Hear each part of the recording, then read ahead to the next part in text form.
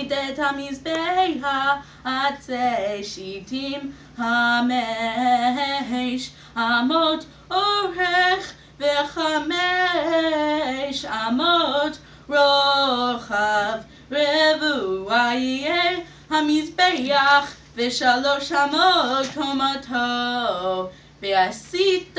קרנותיו על ארבע פינותיו ממנו תהיינה קרנותיו וציפית אותו נחושת ועשית סירותיו לדשנו ויעף ומזרקותיו ומזלגותיו ומחתותיו לכל כליו תעשה נחושת